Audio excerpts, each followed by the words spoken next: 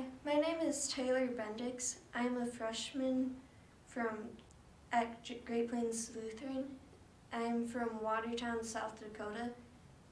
I went to St. Martin's Lutheran School in Watertown, South Dakota. And my devotion is The glory of the Lord appeared in a cloud. Then Moses told Aaron, Say to the entire Israelite community, Come before the Lord, for he has heard your grumbling. While Aaron was speaking to the whole Israelite community, they looked toward the desert, and there was the glory of the Lord appearing in the cloud. Exodus 16, verses 9 and 10. One could argue that the most accomplished grumblers ever were the children of Israel. They won the gold medal in grumbling year after year.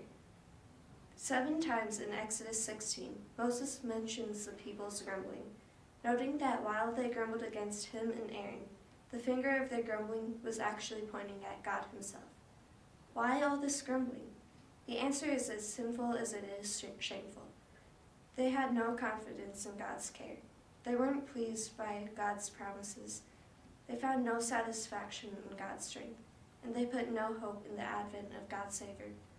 They grumbled against God because they didn't put their trust in Him, and they grumbled against Moses and Aaron because they couldn't find any love for God leaders in their self pitying hearts.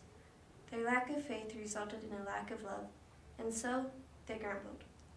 But in the midst of their horrible grumbling, these selfish sinners saw the glory of God shining. Here is our lesson. The great glory of God is in the salvation of sinners through Christ. God's bright and shining glory of God is in the salvation of sinners through Christ. God's bright and shining glory is in his gift of life to dead sinners for Christ's sake. And the life of God gives through Jesus is never absent of meaning and purpose and joy. I can put it to you this way God did not simply create us to live or exist. No, God created us to live in love. So while it is true that we see God's glory in the work he does for our lives, it's equally true that we see God's glory in the work He does in our lives. God takes people dead in sin and on their way to the bottomless grave in hell, and He makes them alive in Christ. God takes people who grumble and complain, and who hate envy and lust, and He makes them love in Christ.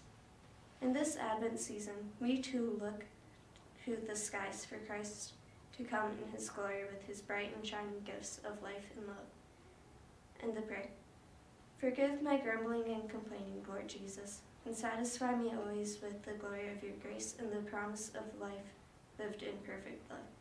Amen. God's blessings on your Christmas season.